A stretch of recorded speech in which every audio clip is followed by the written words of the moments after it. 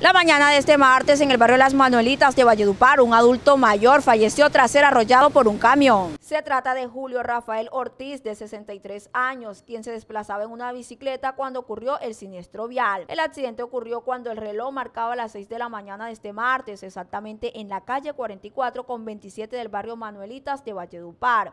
De acuerdo al reporte de la policía, el adulto de quien se conoció era de oficio lotero, transitaba en su bicicleta cuando fue arrollado por un camión, el cual era conducido por Julio Rafael Ortiz, de 63 años, y quien resultó ileso. El cadáver del adulto mayor fue inspeccionado por las autoridades correspondientes y llevado al Instituto de Medicina Legal y Ciencias Forenses de Valledupar.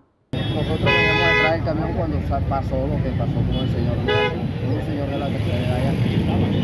¿Qué se dice? ¿El, el señor cometió una imprudencia? Tuvo que haber cometido una imprudencia porque venía de aquel lado y el carro venía en su vida. El semáforo estaba en. Para el semáforo cambia, que nosotros venimos detrás del carro, es que nosotros vemos que el carro hace el movimiento suena enseguida pa como un poco. Solo la cabeza como un poco. Y nosotros seguíamos dando cuenta y nos nos bajamos y salimos corriendo a ver. El rostro del señor quedó desfigurado. Y toda esta parte, o sea, la cabeza no se la aplastó del todo porque el camión no venía cargado. Venía cargado pero sí le, le, toda la cara. Los ojos le quedaron blindados. ¿Cómo cuántos años tiene el señor? No, yo creo que es mayor,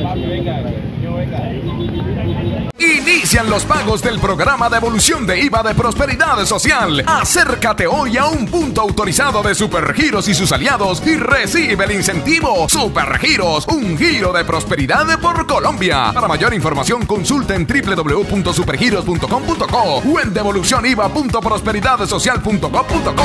Aplican términos y condiciones. Vigilado y controlado Mintic.